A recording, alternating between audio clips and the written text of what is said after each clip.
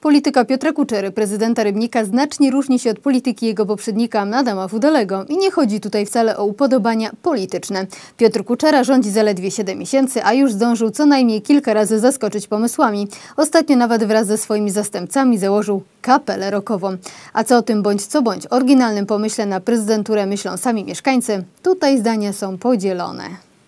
Zasług Adama Fudalego, byłego prezydenta Rybnika, który rządził miastem przez cztery kadencje, trudno zliczyć. To właśnie za jego rządów miasto przeszło metamorfozę, a Rybnik zaczął być zaliczany do Ekstraligi Polskich Miast. Od grudnia zeszłego roku stery w mieście z Ikrą przejął Piotr Kuczera i choć jego prezydentura trwa zbyt krótko, aby mówić o zasługach i wielkich zmianach, to już można zauważyć, że różni się jej styl. Ostatnimi czasy prezydent założył kapelę rokową.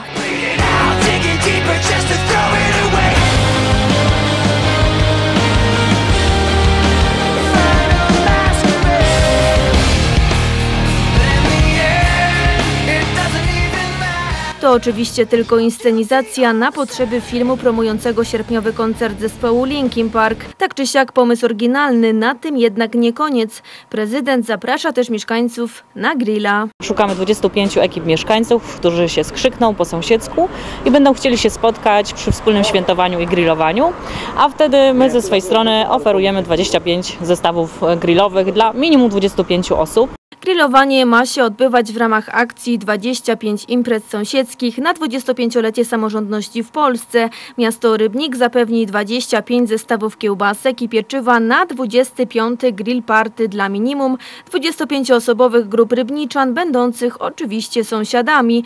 Trzeba zainteresować e, prezydenta inicjatywą. Jak to zrobić? Trzeba wypełnić formularz e, e, i wysłać go do Biura Kultury. Wymieniając dalej, nowy prezydent jeździ z urzędnikami na rowerze, udziela też ślubów, słowem dobry PR. No, być może wynika to trochę z wieku prezydenta jego zainteresowań. E, Gram na gitarze, jeżdżę na rowerze, no i lubię grillować.